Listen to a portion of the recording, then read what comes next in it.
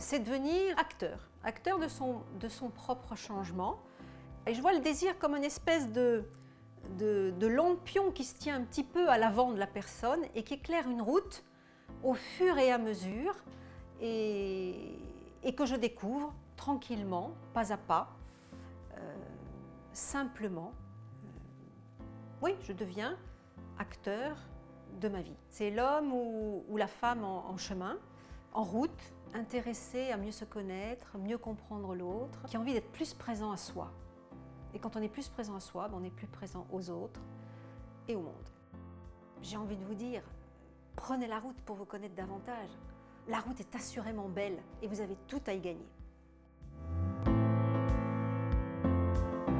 De s'émerveiller de soi et d'ouvrir un champ complètement nouveau avec plein de possibles, plein de perspectives.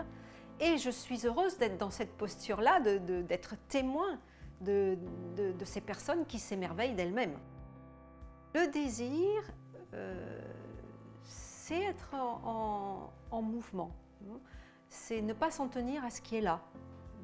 C'est aussi cesser de répéter ben, ce que je répète toujours de la même façon, de manière un peu automatique ou mécanique. Et c'est donc décider de prendre la route, quoi. Hein. Prendre la route vers autre chose, oui, d'inconnu, et qui pourtant euh, m'appelle hein, ou me rend curieux de. En fait, désirer, c'est être, être, curieux de soi.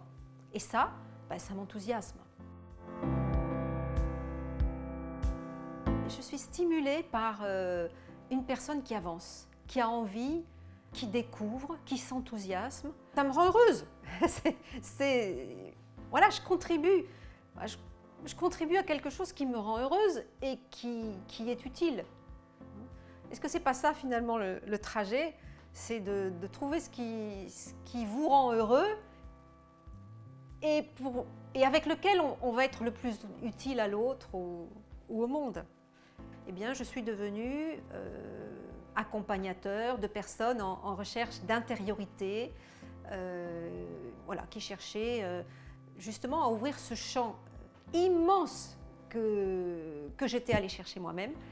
Et, et, donc voilà, j'étais alors sur ma route. Être à côté, ça permet à l'autre ben, justement d'être libre dans ce qui va se proposer à lui.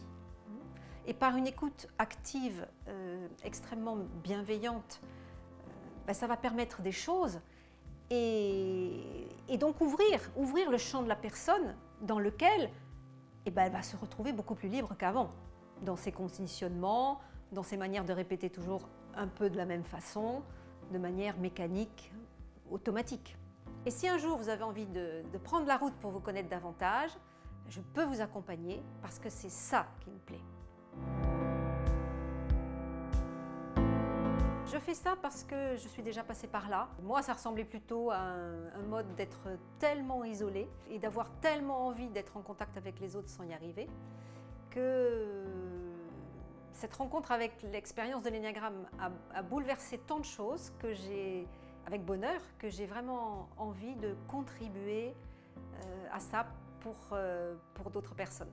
Et j'axe mon, mon accompagnement sur la personne dans ses appuis, de telle sorte que la personne entière, là où elle a ses deux pieds, euh, soit plus à même de voilà, d'être à l'aise dans, dans ses ressources personnelles. Et qu'elle en fasse donc profiter les autres. Réveillez-vous, allez voir à quel point vous êtes beau, soyez vous-même, le monde changera. Assurément la route est belle, et vous avez tout à y gagner.